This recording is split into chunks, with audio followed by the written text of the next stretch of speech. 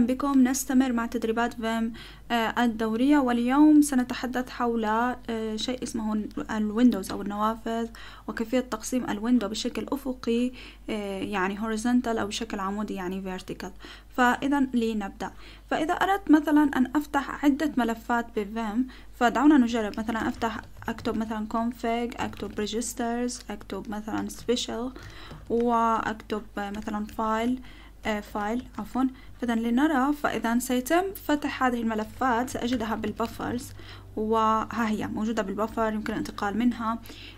بكتب آه، مثلا بفر واحد أو بفر ثلاثة مثلا وأنتقل للبفر الثالث. لكن نحن تعلمنا في الفيديو السابق طريقة أن نكتب بفر أول لفتحها كلها. طبعا لدينا هنا سواب فسأكتب edit anyway. فجيد.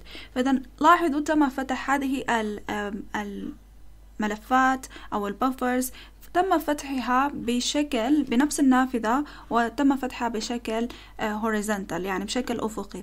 إذا أردت مثلا أن أفتح هذه البفر بشكل ليس بهذا الشكل يعني أنا أريد أن أفتحها بشكل بشكل عمودي ف وأريد أن أفتحها يعني ليس أريد أن أذهب مثلا مرة أخرى. دعوني أكتب quit all ولا أريد أن أفتحها بهذا الشكل يعني لا أريد أن أفتحها بهذا الشكل ثم أكتب buffers أو buffer all ويتم يتم وضعها بهذا الشكل. أنا لا أريد هذا الشيء. أنا أريد بكل بساطة سأكتب هنا quit all. طبعا بسبب لماذا يظهر لي ملف السواب لأن هنا أنا قمت ببعض التغييرات دون أن أقوم بالحفظ وتم حفظها بالسواب أو الميموري. فإذا قمت أنا بكتابة less-a سأجد لدي هنا ملف اسمه registers swap. يمكنني أن أحذفه. فإذا remove register تكست سواب طبعا هذا الشيء أعتقد سيكون متقدم أن نتحدث عنه آه، يعني ربما في نهاية هذه السلسلة. نتحدث حول هذا الموضوع مثلا أين نضع ملفات السواب آه، منفصلة وأن لا تظهر لنا بهذا الشكل آه، بنفس المسار الذي نعمل عليه. طبعا لا مشكلة انسوا ما قلته الآن ولنعد لموضوعنا.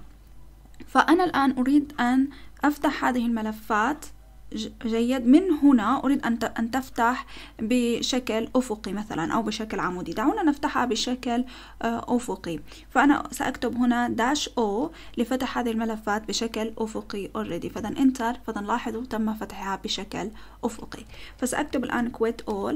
وسأفتحها الآن بشكل عمودي. فسأكتب هنا capital O بهذا الشكل. فإذا لاحظوا تم فتحها بشكل آه، عمودي. تم تقسيم الشاشة وفتحها بهذا الشكل. الآن إذا أردت الانتقال بين هذه النوافذ فيمكنني أن أكتب Ctrl W W Ctrl W W وأنتقل فيما بينهم.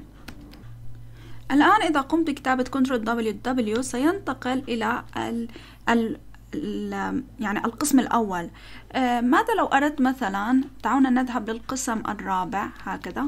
إذا أنا الآن بالقسم الرابع. أريد الذهاب للقسم الذي قبله لا أريد الذهاب للقسم الأول. فيمكنني أن أكتب Ctrl W H فالآن ذهبت إلى القسم اليساري. إذا أردت مرة أخرى رجوع للقسم اليميني فسأكتب Ctrl W L عفوا. Ctrl W L إذا الآن موجودة أنا هنا. Ctrl H تذهب إلى هنا. إذا أردت الذهاب أيضا إلى اليسار سأكتب Ctrl H Ctrl H. إذا أردت الذهاب لليمين Ctrl L. جيد. Ctrl L. نفس خيارات النافيجيشن موجودة بفيم H تذهب لليسار و L تذهب لليمين. نفس الفكرة. مرة أخرى سأكتب quit all. وأخرج من هذا الموضوع. أريد أن أفتح ملف عادي مثلا file.txt ففتحت هذا الملف. الآن أريد أن أفتح ملف آخر بنفس هذه النافذة هنا. فسأكتب split وسأكتب اسم الملف الآخر هو file2.txt فلاحظوا ظهر الملف أدناه مباشرة. الآن إذا أردت أن أفتح ملف آخر فإذا أدناه فسأكتب split. وهنا سأكتب lines مثلا. فإذا تم فتحه هنا. الآن إذا أردت الانتقال بين هذه الملفات فيمكنني أن أكتب Ctrl WW Ctrl WW تنتقل بين هذه ال البفرز أو هذه ال آه، الأقسام.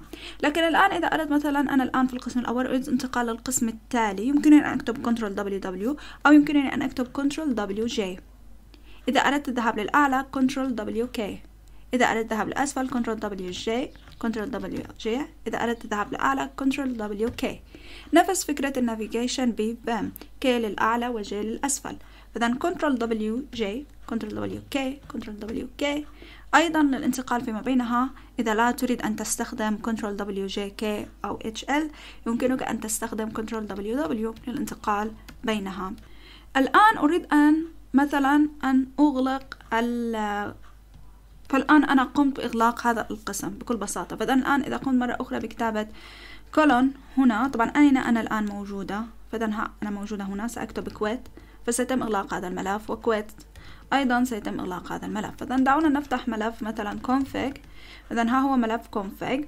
فإذا أردت أن أفتح ملف آه، بجانب ملف config فسأكتب v يعني vertical split وأنا أريد الملف الذي أريد أن أفتحه مثلا special. لاحظوا فسيتم فتح هذا الملف على يسار آه، ملف config. فسأكتب Ctrl W للانتقال بين هذه النوافذ. الآن أريد تصغير الويدث العرض لهذه النافذة التي هي ملف special فسأكتب control uh, W ثم سأكتب مثلا أربعين وثم سأكتب هذه الإشارة. فإذا قمت بتصغير حجمها. إذا أردت تكبير حجمها فسأكتب control W عشرين وهذه الإشارة فإذا قامت بتكبير الحجم. إذا أردت تكبير أيضا مثلا خمسة آه ليس بعد فإذا سأكتب عشرة. فإذا تم تكبيرها بهذا الشكل. جيد جدا. الآن إذا أردت أن أقوم بتقسيم هذه النافذة لقسمين فسأكتب هنا آه، آه، سأكتب split. وأريد مثلا فتح ملف line. آه، جيد؟ فإذا ها هو تم فتحه في الأعلى. إذا control WW للانتقال بين هذه النوافذ. جيد. إذا أردت أن أجعل كل هذه النوافذ ذات حجم واحد فيمكن أن أكتب control W يساوي. فإذا تقريبا تم المساواة أحجام هذه آه، الأقسام يعني. والآن سأكتب split آه، هنا ومثلا أفتح ملف آخر مثلا file 2 file 2 أنا كتبت horizontal split كنت أريد أن أكتب uh, vertical split. ف... فإذا لا مشكلة. فإذا control W يساوي يساوي هذه ال window فإذا أردت مثلا أن أقوم أنا تقليل الطول أو ال height لهذه ال window فيمكنني أن أكتب control W minus. control W minus فإذا لاحظوا يقل ال ال height لهذه ال window فإذا قمت بتقليل ال height لها. آه، والشيء الأخير الذي أريد أن أتحدث فيه هو أنني يمكنني أن أقوم ب مثلا التركيز على هذه ال window فقط. أنا أريد فقط مثلا التركيز على قسم ال config فيمكنني أن أكتب هنا آه، عفوا. يمكنني أن أكتب colon only. وسيتم فتح هذه النافذة فقط. الملفات الأخرى ما زالت مفتوحة سأجدها بال buffers فإذا هذا كله لهذا الفيديو ونلتقي بالفيديو القادم.